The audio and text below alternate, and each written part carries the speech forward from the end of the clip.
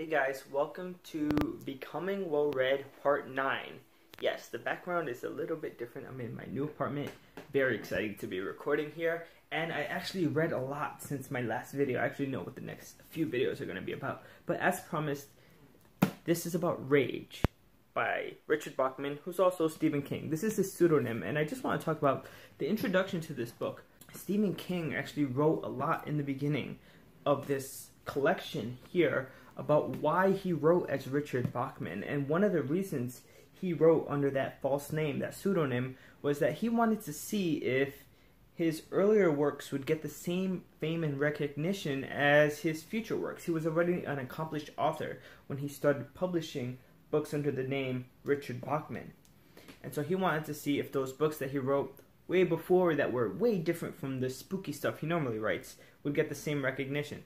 Eventually, he was found out paper leaves a trail, and one of the books had uh, his name in the copyright, and so it was found out that it was him. Uh, so I've read the first book uh, called Rage. What was Rage about? Rage was a lot about teenage angst and anger, and also people or one kid, Charles Decker, with a lot of problems. We start off and he's in class and he's being disruptive, and they send him to the principal's office. And while he's waiting at the principal's office, he's having all these thoughts about his father and about this camping trip that they had. He just he couldn't kill the deer. He felt so upset with himself that he wasn't able to do it. Um, after he leaves the principal's office, he knows already that he's going to be transferred uh, to a different school. You see, the thing is that he's had problems in school before. Charles Decker hit a teacher I believe it was in the face with a wrench or some kind of metal uh, tool, and that teacher was sent to the hospital. And thankfully, that teacher didn't die. Just in general, a troubled kid.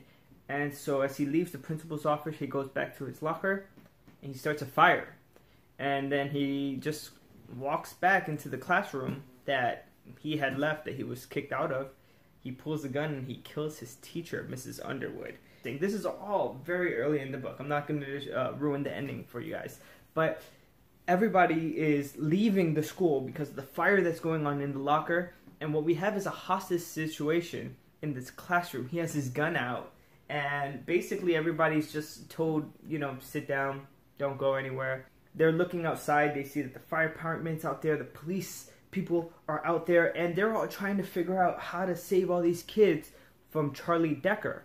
Inside the classroom, Charlie starts up a conversation with all these students, which for the first time in their lives seems more real than anything else that's happened. Different students start telling stories and just having a conversation to the point where, for most of the stories, it doesn't really feel like a hostage situation anymore. Everything that you can imagine that happens, they talk about sex. Uh, two girls have a cat fight, and it's sort of like these strange rules uh, governing what happens with that fight um, there's negotiations between Charlie and the police department. It's a very interesting story. And if you like stories like that, teenage angst, anger, letting it all out, just, you know, going against the man, or maybe just looking into like a psychopath's mind.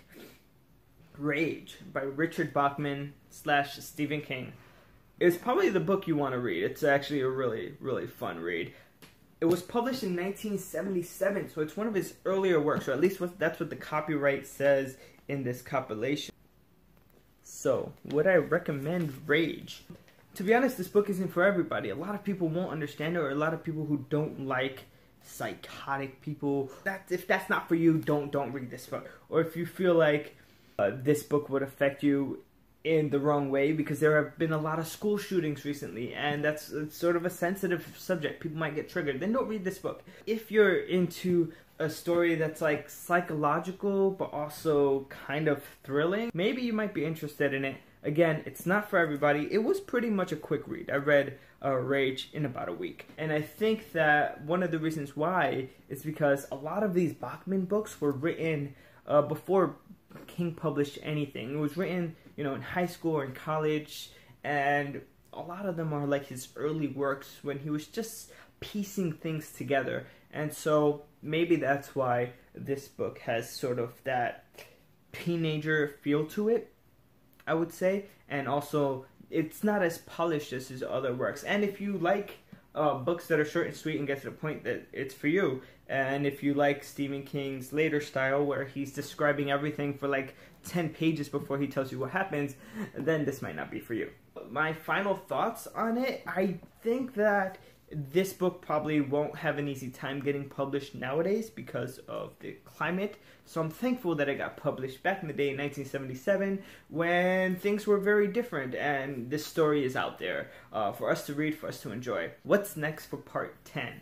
Part 10 of Becoming Well Read will be another one of Stephen King's uh, early titles. Also published in 1977, The Shining by Stephen King. I read this weeks ago. Like I said, I'm I need to get uh, caught up, let's say. And so yeah, this will be the next one, and hopefully I can get the video made in a week or two. If you read Rage, if you liked Rage, if you want to talk about school shootings or guns or anger and its management, or about you know kids that are just psychotic or the psychology of kids or anything related to Rage, please leave a comment down below like this video. If you like books, give it a thumbs up and subscribe for more content like this.